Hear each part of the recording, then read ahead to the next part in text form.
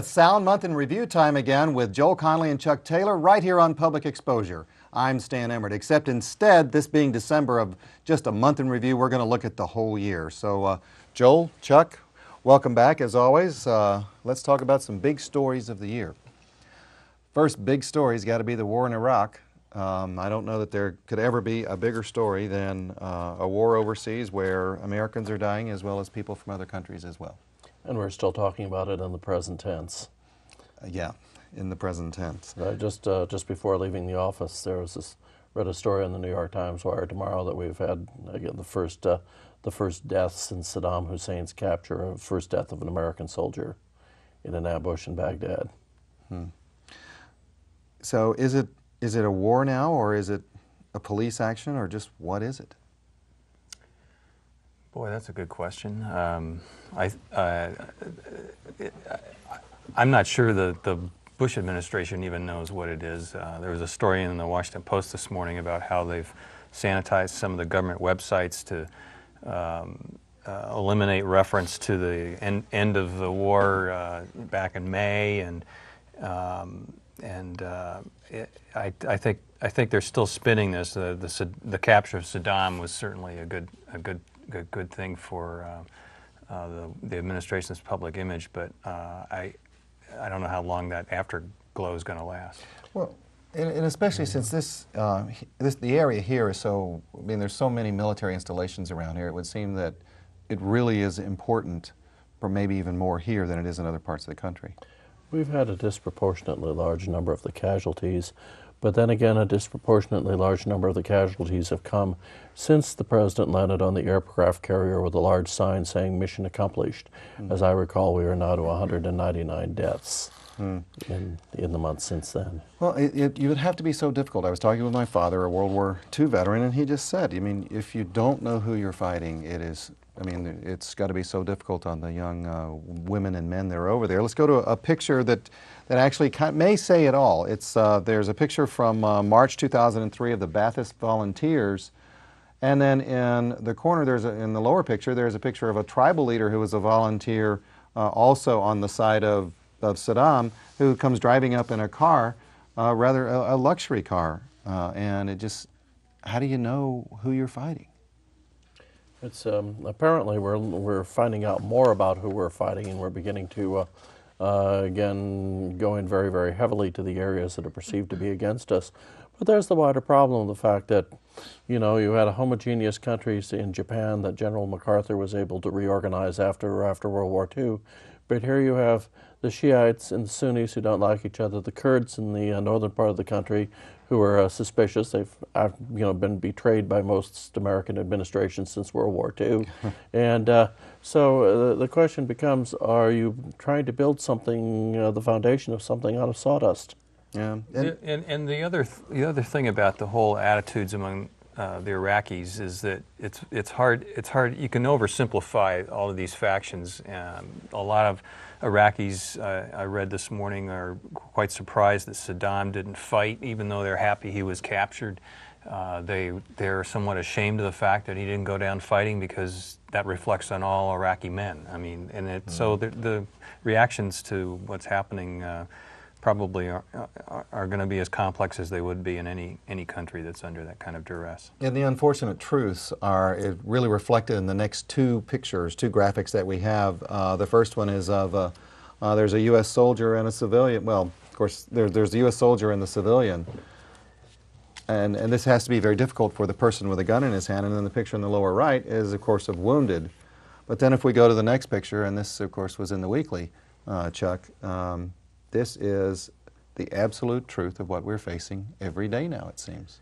Yeah, the, um, the death toll of uh, service people from, with connections to Washington State is 19 now. Um, there's also another civilian. Um, our cover story this week about uh, profiling the uh, dead um, who have called Washington home or still do um, mentions 18 people who are in active uh, duty and one civilian, but uh, just as we went to press, uh, we got word of another uh, another man from the state who um, was uh, killed uh, this week. And I I've said this before. I think I think that the the political challenge uh, between now and the election is is the body bag count. I mean, that's the stark reality that that hits home the hardest. And um, there's still a lot of support for the war. Uh, Bush's uh, favor. Uh, uh, popularity ratings, you know, have taken a, a little bump, uh, are, are up again a little bit, and um, Well, that's ever since the Saddam Hussein capture, and let's have, let's have a picture of Saddam then and now. And uh, Joel, that's probably the bigger question. When I when I first heard of his capture and then the discussion of a trial, my thoughts are, do we really want him to talk? Well, there's a question of what, what does he have to say? First, by way of helping the uh, helping the hunt for weapons of mass destruction, where it appears increasingly likely that, we- that you may have had generals lying to him that they were still preparing these things, telling the dictator what he wanted to hear. But there's also uh, other things that he could talk about. Um, we are approaching on the 20th of December the anniversary, the 20th anniversary of the meeting between Saddam Hussein and the emissary of the Reagan administration, one Donald Rumsfeld, in uh, in Baghdad about um, you know surreptitious cooperation between the Iraqis and the United States in the in the war that was then underway against Iran. Um, do we want to do we want him to uh, talk about that? In fact, it is that meeting that uh, has led to the the joke about how does Don Rumsfeld know that there are weapons of mass destruction in Iraq? Answer: He's got the receipts. Um, and um, so, anyway, uh, we want Saddam to talk about one thing, and we might get a little embarrassed if he talked about another. Some of the arrangement, financial arrangements with high French and Russian officials, however, might be uh, might be grist for the mill. Well, uh, it'll certainly be interesting to follow, and um, I don't know. I'm I'm one for uh, let's uh, let's let the Iraqis try him, and the chips fall where they may. We'll see what happens. Uh, something that is probably a very big story here in Washington State is the void of leadership. Uh, the void of leadership, and let's just start right at the University of Washington, where. Uh, we have uh, Rick Neuheisel, Barbara Hedges, and then, of course, we have drugs because we've got a drug scandal going on right now at the University of Washington. Man, I mean, could it be any more messed up? Well, and then you know they- they're also facing uh, uh, funding problems for the less glamorous areas of the school. Um, I mean, it's it's whoever's going to be the long-term president uh, at UW is going to have their work cut out for them, and um, the rumor, of course, is that they're getting ready to bring Gary Locke in after he finishes his term as governor in a year. I don't know. What do you make of that? Well, Dan Evans essentially saved the Evergreen State College, not to mention the fact that he repel, rappelled down the clock tower on one occasion. Um, and there, um, uh, there is there is president Dwight Eisenhower was even the president of Columbia University for a bit. Um, so that you basically apply political skills to the funding, uh, to the funding and the fundraising problems that uh, that universities face, and you know, and let the let the faculty senate yap, which it always will. But he hasn't been great uh, for the university in his role in Olympia. Um, I- I wonder how effective he can be. Uh, He seems to be quite bullish on education in the budget that uh, that came out uh, just today, Okay. and that uh, he may be. It's a curious situation with Locke that uh, you had an almost pack rat-like accumulation of political capital uh, during his first six years in office, and he finally put some of it on the line in the '77 deal, and I think he may be um, he may be a little bit more of a, of a risk taker, taker, not necessarily a gambler. Too sober for that during his last year in office. Well, speaking of a leadership void, let's go back to an article, Joel, that you wrote uh, in, on April the 16th, 2003. The headline of the article was The Overhaul of, of Seattle City Council is Long Overdue. Quoting out of the article, incumbents down at Seattle Municipal Building are visibly nervous about their public image. Well, of course, now several of them are out of a job. uh, biggest uh, biggest upheaval since the late 1960s. I think it needed one to uh, pump some new blood and purpose into the outfit. Uh, we had the uh, had the uh, Strippergate scandal, which made them made people how do I put this, look ridiculous before the city, where they had previously looked simply ridiculous before uh, before uh, the political junkies of the city, and um, and uh, also the reemergence of you know, once upon a time, news, Seattle newspapers, whenever they there was an investigative Boyd would uh, would go after Frank Colacurcio for something. Well, we now have Colacurcio's son. We have the reemergence of 95-year-old former uh, governor. A whole Al- new generation Al of Ro- Al reporters Ros- are Al discovering Ros- Frank Al Rosellini. So, so it was it was uh, to use Yogi Berra's famous phrase, "Deja vu all over again." The shakeup continued too uh, this week with the committee assignments. Um everyone expected Jim Compton to get the City Light uh, chairmanship, and Jean Godden got that, and he ended up with utilities. And um, uh, it's there's there's a lot of there's a lot of new uh, a new stuff going on there at City Hall with um, uh, uh, Licata is going to be on, uh, heading the, the Police, Fire, and Technology Committee, and uh, Boy, um, you know that uh, that is, uh, you know, kind of kind of like the uh, hills above San Diego a few months ago. You know, something you know, waiting, waiting for, waiting for a spark. Because he's been a steady crit- critic of the police. His office has been a kind of a clearinghouse of information on the police. So I can see the first three-hour hearing uh, of the of that committee with everybody complaining against the police, the police reacting in a very very strong fashion to it. I think um, we will have many interesting developments there. who reaches out to whom in that situation? Is it uh, the police chief who reaches out to Nick Licata, or is it the other way around?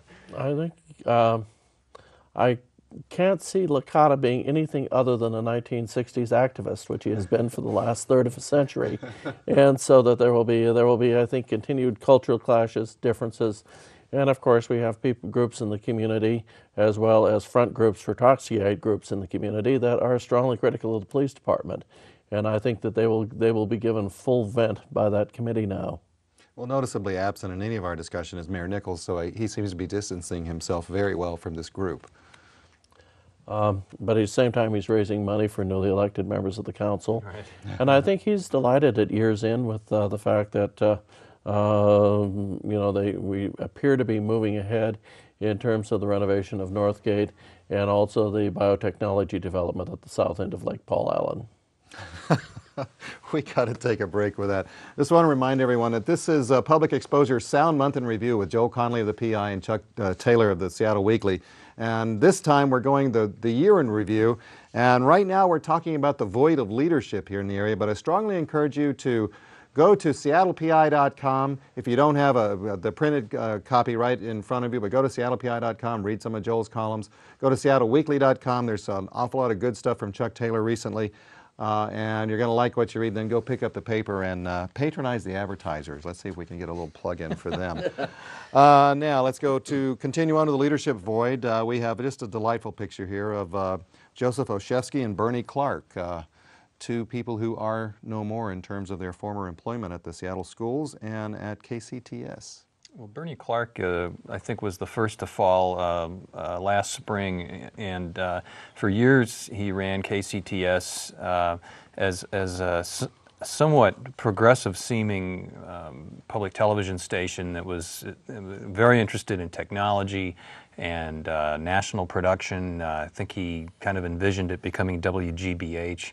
Um, but uh, but uh, somebody wasn't watching the, the budget very carefully, and they got into huge trouble. And uh, and he, so he, he here's a leader of a of a huge Seattle institution, huge in terms of its visibility, um, uh, who. Um, it was probably long, uh, long past time for him to go. Well, speaking of the budget, the Seattle schools, I mean, and Joseph Olchefske was the budget guy before he became the superintendent. And um, uh, there again, you had a uh, you had with both of these institutions, uh, KCTS and the Seattle School Board, you know, uh, directors that were supposed to be riding herd on the institution. So what happened is, in addition to the heads rolling, you also had multiple heads rolling on the Seattle School Board, and also uh, very very critical analysis of the cheerleader role that the uh, board on KCTS has played.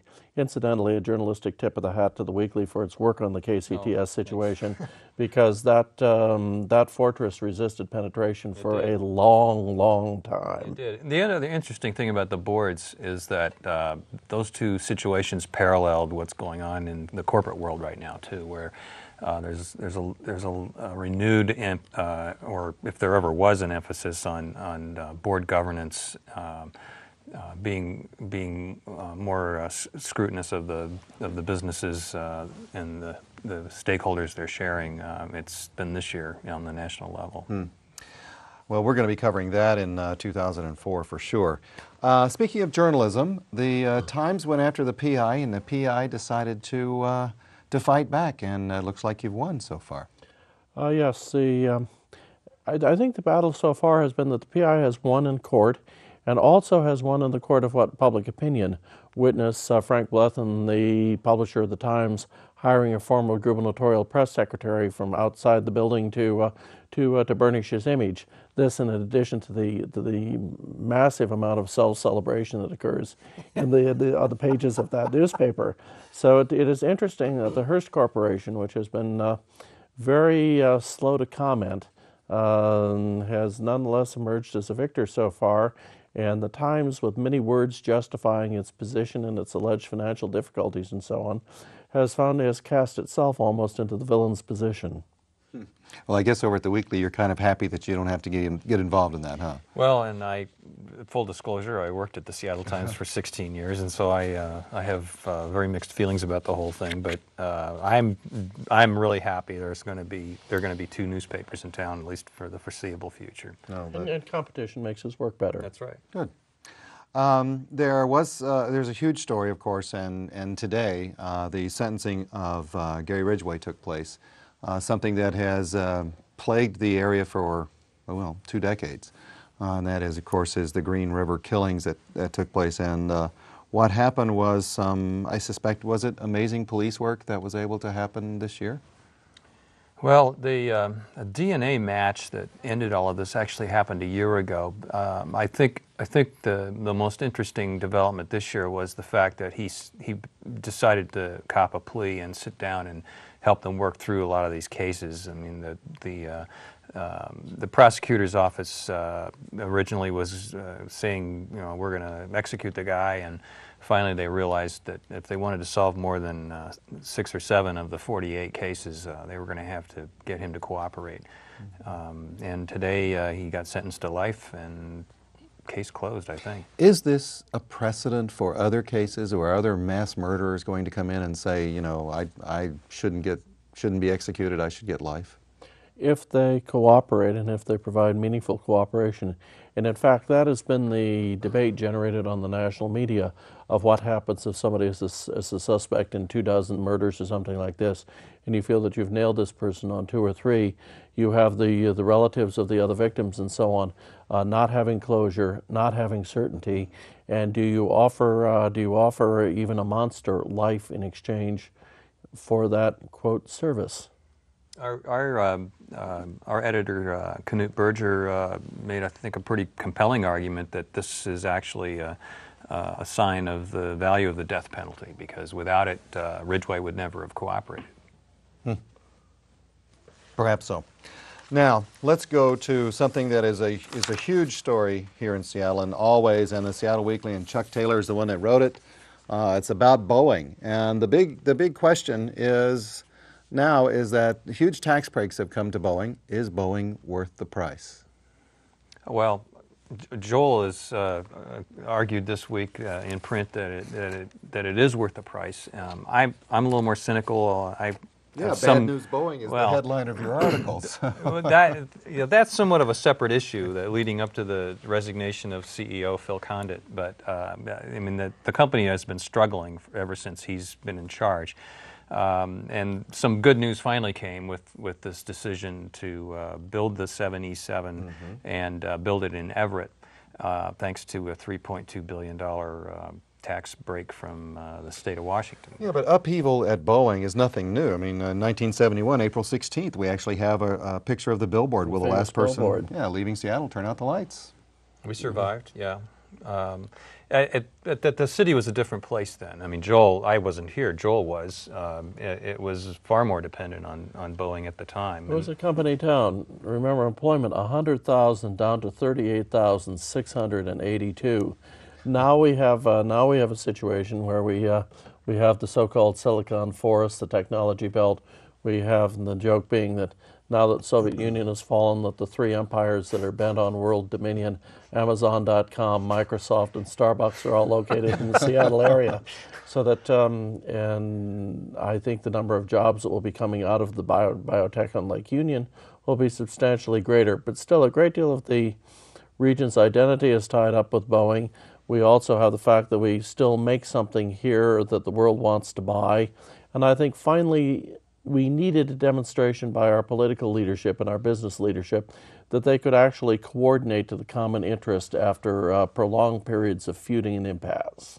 I, I think you're right about that part. I, I have trouble with uh, is it worth 3.2 billion dollars for 1,200 factory jobs, which admittedly lead to perhaps more than 10,000 other jobs. Um, I just don't know. That just seems like an astonishing amount of money to me. I, you, you could almost take those 17,000 jobs and, and just give the money out to the people. Uh, it would uh, won't serve the same purpose if, if you want to keep the economy going. And the other thing is that there's not, you know, everyone seems to think that this means that we're going to continue to build airplanes here for the foreseeable future. And there's nothing that, you know, if they come up with a new airplane in 10 years, there's nothing that says we won't have to go through the same process all over again.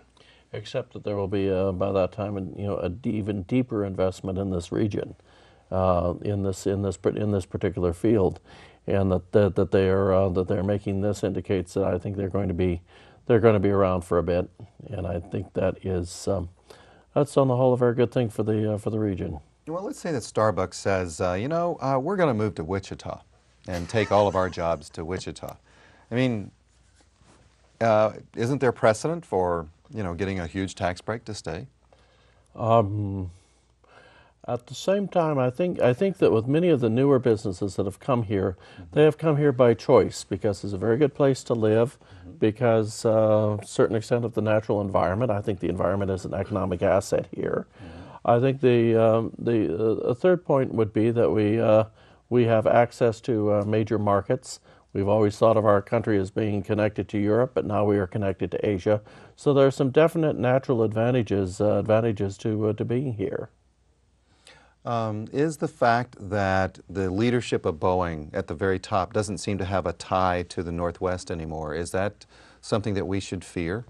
I, I don't think so. Um, there was all kinds of uh, speculation about what Boeing should do.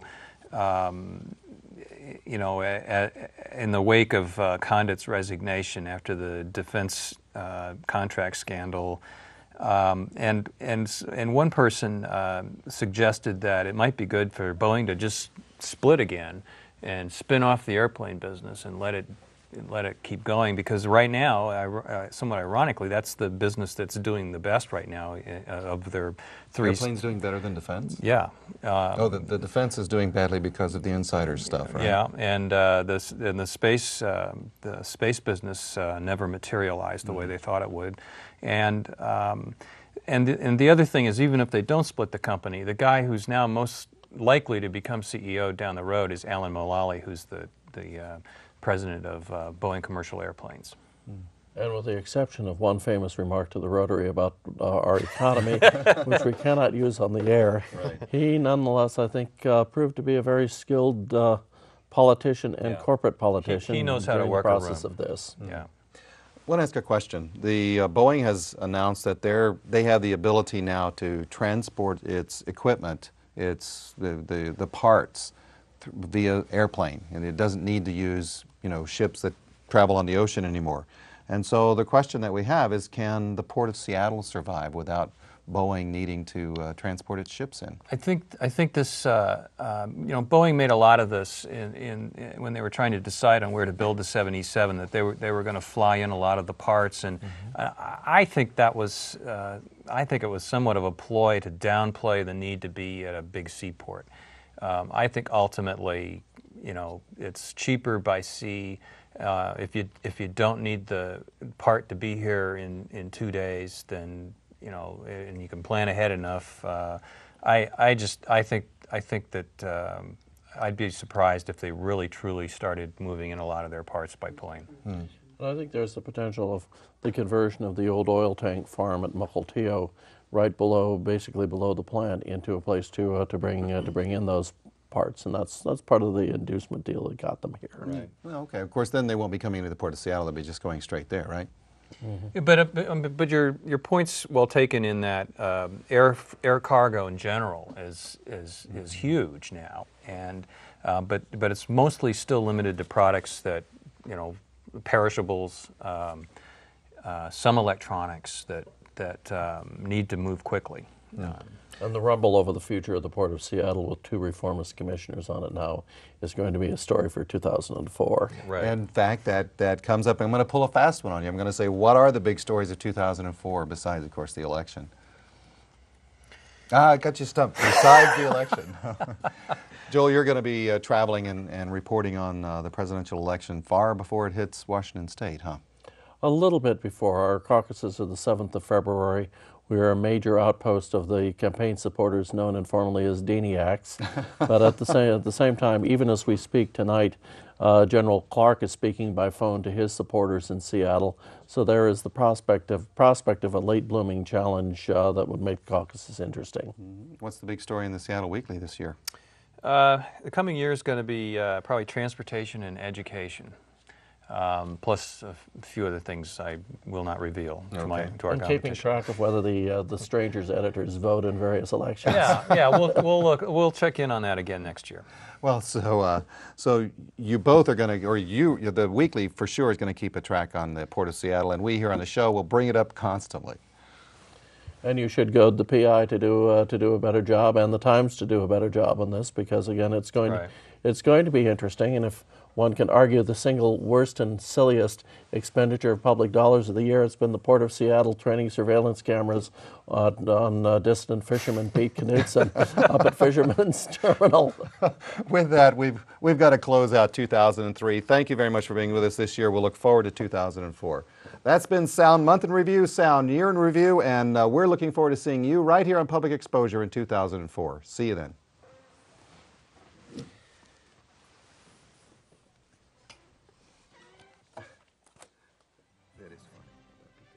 Funny.